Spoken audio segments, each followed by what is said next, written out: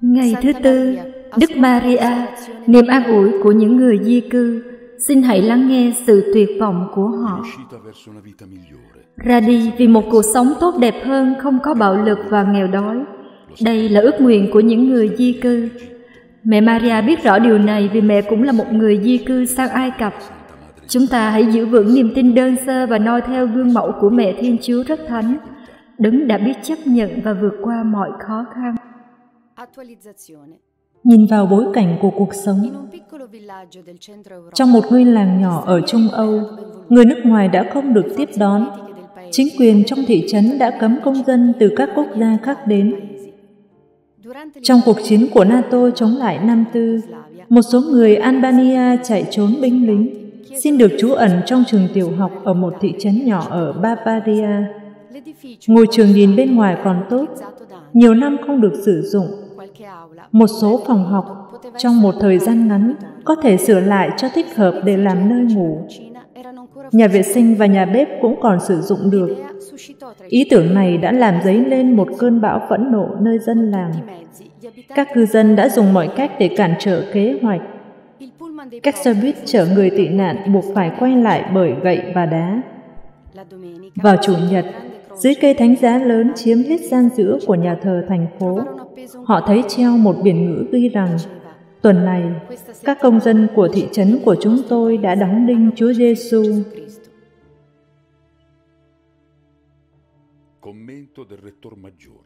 Bình giải của cha bề trên cả. Tiếp xúc với những người di dân trẻ, những người tị nạn và rất nhiều người trẻ khác bị tước đoạt các quyền cơ bản là một lời kêu gọi hành động cấp thiết đối với tất cả chúng ta. Như trong sách đệ nhị luật đã chép, đối với dân israel, hãy yêu kẻ ngoại kiều vì các ngươi đã là ngoại cư ở ai cập.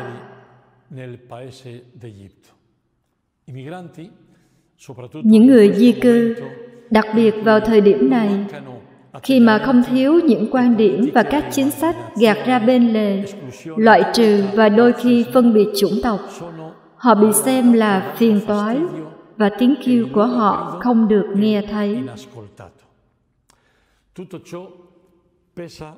Tất cả những điều này đè nặng trên lương tâm của xã hội. Một xã hội đang tìm cách toàn cầu hóa nền kinh tế, nhưng không liên đới và nỗ lực cho việc phát triển của các dân tộc cũng như cho sự thăng tiến phẩm giá của con người. Sứ mạng ở giữa các dân tộc là trường học tốt nhất của chúng ta. Chính từ đó mà chúng ta cầu nguyện suy tư học tập chia sẻ.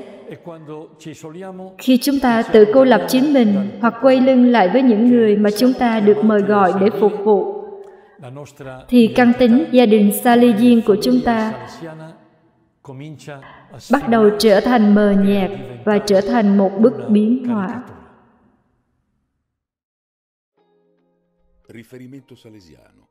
Điểm quy chiếu Salesian. Mùa hè năm 1831, gia đình Bosco quyết định Gioan nên đi học ở Chieri. Chieri là một thành phố nhộn nhịp, sầm uất, và đối với một chàng trai quê mùa như cậu thì hơi đáng sợ các nhà thờ, tu viện, trường học, quán cà phê và cả một nhà hát lớn. Nơi đó cũng có ít nhất 9.000 cư dân. Doan chưa bao giờ thấy nhiều người ở cùng một nơi như vậy. Kiri tọa lạc giữa Castelnuovo và thủ đô Torino. Và đối với Gioan, điều này có nghĩa là một cánh cửa mở ra cho thế giới, cho việc học tập để trở thành một linh mục. Công việc đồng án và thời gian ở Loren đã khiến Gioan trở thành một thiếu niên mạnh mẽ.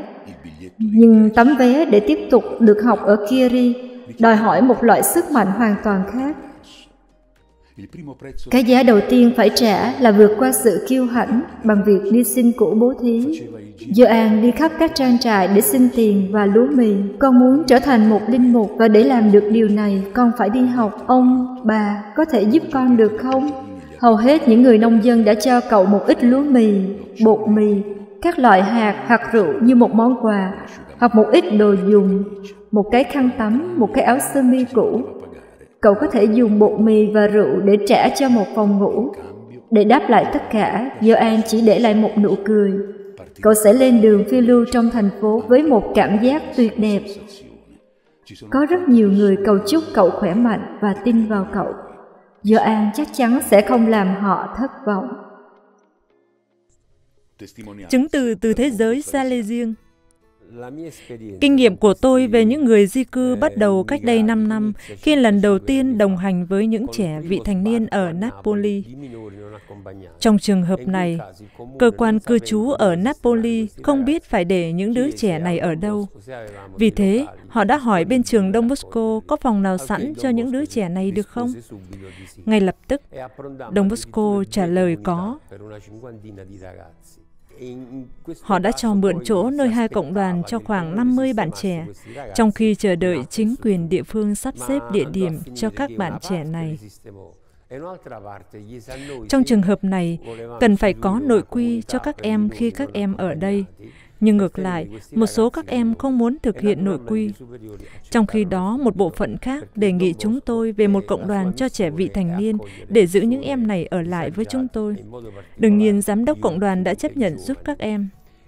Bởi vì sứ mệnh của Đông Bosco là tiếp nhận những người có hoàn cảnh khó khăn, đặc biệt họ là những người trẻ.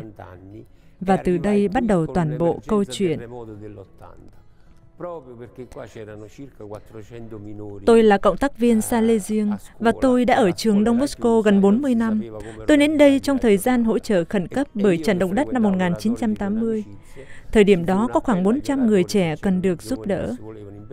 Khi tới nguyện xá, chúng tôi được mời gọi ai sẵn lòng giúp các bạn trẻ này. Từ đó tôi đã tham gia và ở lại đây cho đến bây giờ. Từ ngày đầu tiên, tôi đã cảm thấy đây như nhà của mình, giống như Đông Bosco đã luôn làm với những người trẻ.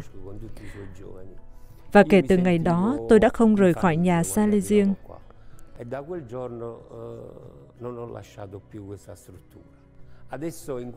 Hiện tại, nhiệm vụ của tôi ở cộng đoàn là cùng với cha Ami, điều phối viên của chúng tôi, để giúp các em có giấy tờ hợp lệ và chăm sóc cho chúng về dịch vụ y tế tại địa phương. Tôi muốn nói rằng hiện nay cộng đoàn đã tập hợp, liên lạc và đón tiếp khoảng 300 người trẻ đến từ 33 quốc gia khác nhau của châu Phi và châu Á. Tôi muốn kết thúc chứng từ của mình bằng việc kể lại cho các bạn một sự kiện để cho thấy phải thế nào khi sống với những người trẻ này.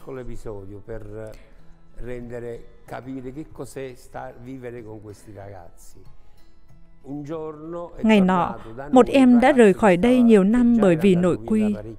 Em quay trở lại với chúng tôi, xin chúng tôi toàn bộ giấy tờ để làm lại hồ sơ cần được công nhận bởi chính quyền. Em tên là Emperias. Tôi đi với em đến đồn cảnh sát để em có thể xin được hồ sơ và em nói với tôi Etera. Những người từng hỏi tôi khi muốn đến châu Âu Tôi nói với họ hãy tới Napoli. Họ hơi chút do dự, nhưng tôi nói các bạn hãy đến trường Don Bosco ở Napoli. Và tôi đáp lại, cậu nói với tôi điều này vì tôi ở đây giúp cậu lấy được hồ sơ phải không? Không phải thế, Estera. Chúng tôi đã thấy mọi người ở đây yêu mến chúng tôi như thế nào. Phó thác cho Đức Maria Lạy mẹ Maria, xin mẹ che chở chúng con dưới tà áo của mẹ. Mẹ đã hiểu sự dưỡng dưng, đau khổ, bị bỏ rơi là gì. Xin mẹ đồng hành với những người đau khổ, những người bị bắt hại, những người phải chạy trốn khỏi đất nước của họ vì chiến tranh, đói nghèo. Xin giúp chúng con biết chăm sóc những đau khổ của những anh chị em này vì phẩm giá của họ.